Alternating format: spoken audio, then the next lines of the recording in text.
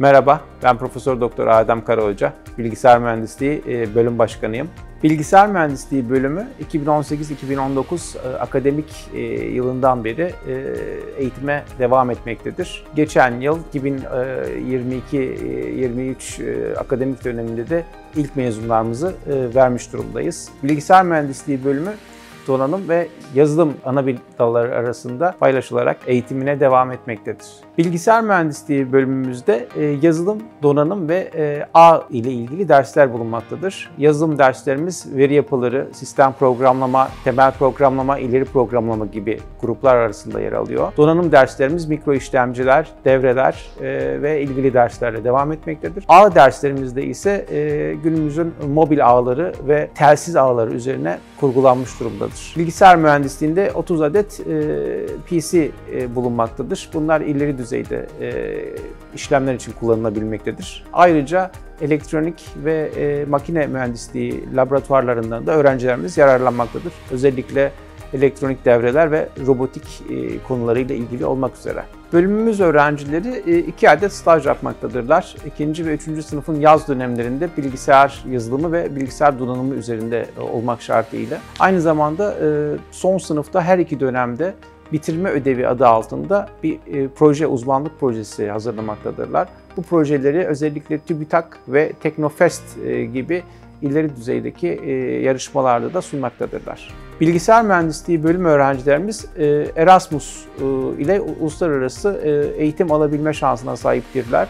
Bu kapsamda bir veya iki yarı yıl özellikle Polonya'da, Bulgaristan'da, Letonya'da ve diğer Balkan üniversitelerinde anlaşmalı olduğumuz üniversitelerle değişim programına gidebilmektedirler. Bilgisayar mühendisliği bölümünün e, organize etmekte olduğu World Conference on IT ve World Conference on e, Big Data Analytics gibi iki konferans vardır.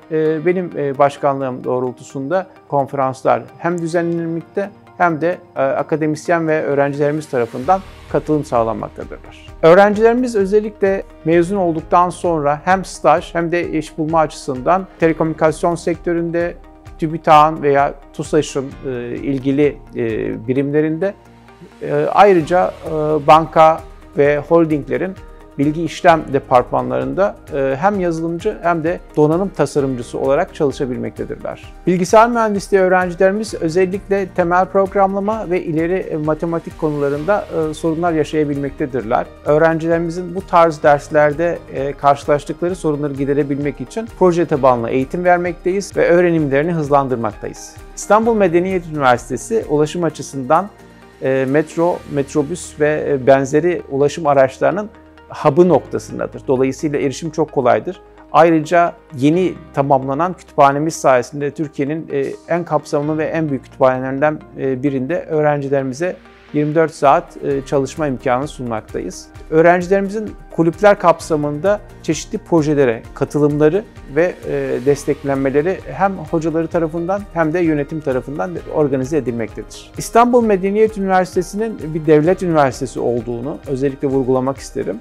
Ayrıca e, bölümümüzdeki e, verilen eğitimin öğrencilerimize 3. yıldan sonra iş imkanı sağlayacak nitelikte olduğunu ve her yıl e, bölüm müfredatının yenilendiğini bildirmek isterim. Çünkü böylece hem yurt dışında hem yurt içindeki yüksek lisans ve doktora çalışmalarını da destekler nitelikte bir gelişim e, sağlayabileceklerdir. Üniversite sınavına e, girecek adaylara öncelikle başarılar diliyorum.